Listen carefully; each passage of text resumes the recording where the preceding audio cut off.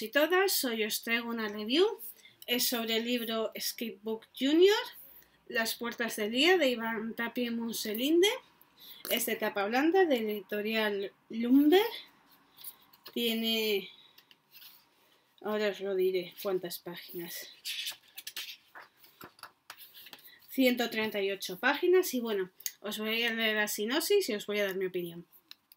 Dice, Lía tiene una curiosa habilidad, sabe abrir puertas, pero no es cerrajera, y mucho menos una ladrona.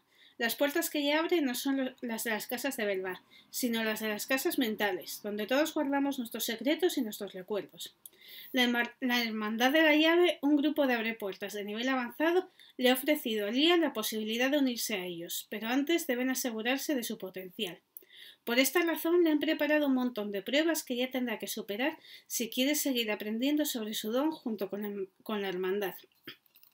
Y aquí es donde entras tú, porque ella necesita a alguien de confianza para resolver los diferentes retos que se le van presentando en el camino. Para ello deberás recurrir al ingenio, la lógica y la creatividad. Lía cuenta contigo.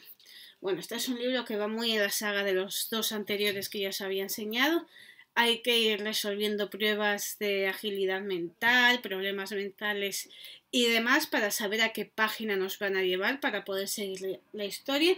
Sí que es una historia un poco más juvenil que las otras que eran más adultas, por así decirlo. Es una historia de fantasía, con lo cual les va a encantar a los jóvenes de nuestra casa y nos trae enigmas como por ejemplo este que hay que resolver varias cosas o este también como es un nivel más juvenil que adulto, los, lo que son los enigmas son mucho más fáciles, hay que agilizar un poco la mente, pero son mucho más fáciles de descubrir y los recomiendo a todo el mundo que tenga jóvenes en su casa y quiera introducirles al mundo de la lectura y demás, que esta es una buena manera que además van a leer disfrutando.